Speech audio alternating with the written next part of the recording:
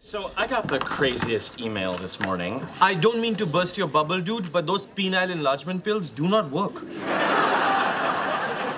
Believe me, I know. The email I got was from the office of Stephen Hawking. You're kidding. Why? He's coming to the university for a couple weeks to lecture, and he's looking for an engineer to help maintain the equipment on his wheelchair. That's amazing. You'll be like his pit crew. Uh, a word of caution, I would not do your Stephen Hawking impression in front of him. You're right. I suppose that could be considered offensive. The dragon falls from the sky, crashing into the volcano. Hey! Wait! He's not dead. He crawls out, spreads his wings, and prepares to attack. Yeah, wait, yeah, wait. Doesn't he say something first? You know, maybe in the voice of a beloved celebrity? Fine. You'd think, after all these years, I'd know not to fly over volcanoes. I'm a freaking idiot. The dragon's Christopher Walken. That's perfect. All right, Amy, it's your turn. We need one more hit. Finish him off. Here we go. 15? It's a hit. The dragon collapses to the ground. Oh, no, wait, wait. And says. Mother, is that you? Your little boy is coming home. Should we get lunch or you want to eat at the zoo? Oh, Howie, I don't need food as long as I can look at my phone. I don't like when you imitate me. You want to hear my Stuart? Oh, it's been a while since I've gone on a date. Mind if we watch the monkeys doing it?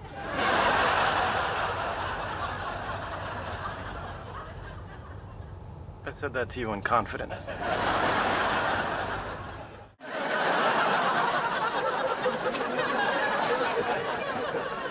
Hey, Sheldon. Hello.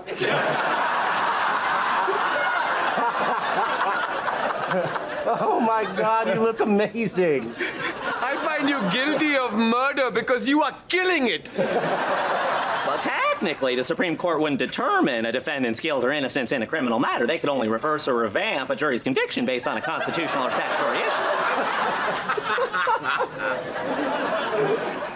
Why are you laughing?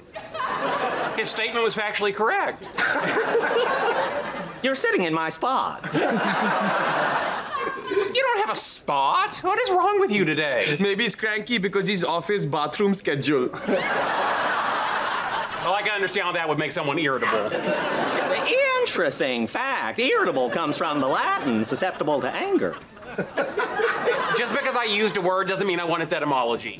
Interesting fact. Etymology comes from the Greek You are being so annoying. Stop it. And why are you two laughing? Sheldon, he's being you. He's dressed as you for Halloween.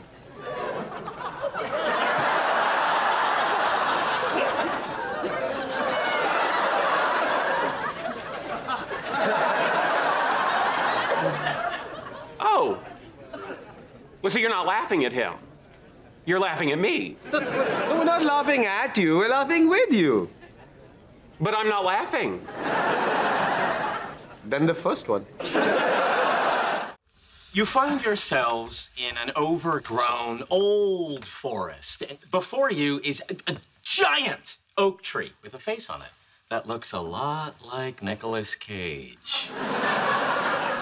he says, Travel with caution. These woods are home to the bones of many a fallen hero. Uh, see, Howard's just as good a dungeon master as I am. As good. Well, you just got pantsed in the schoolyard, Four Eyes.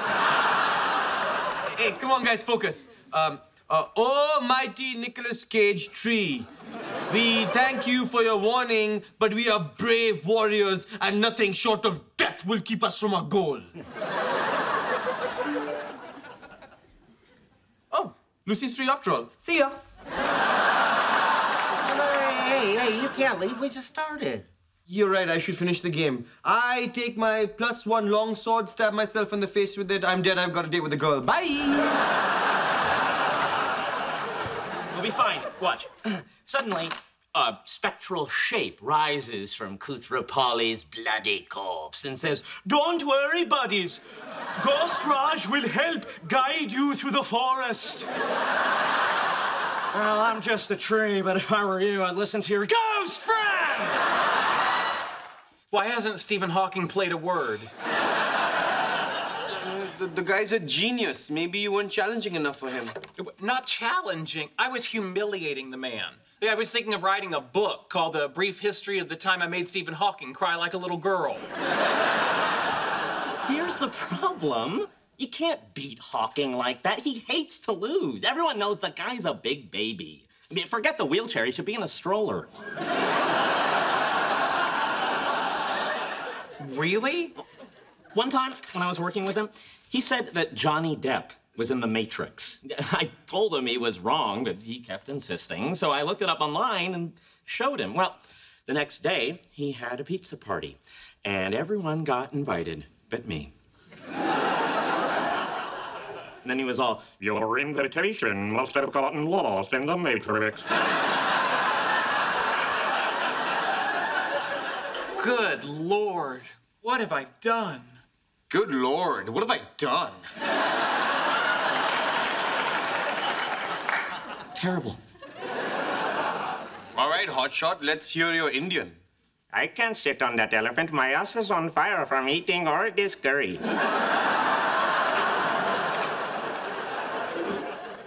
Okay, yeah, that's pretty good.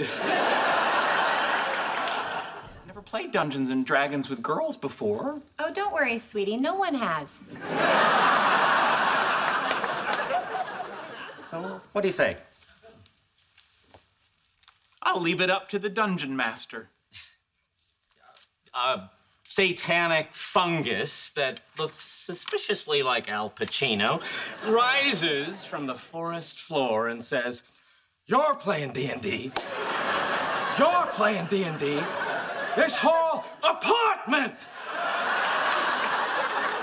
is playing D&D."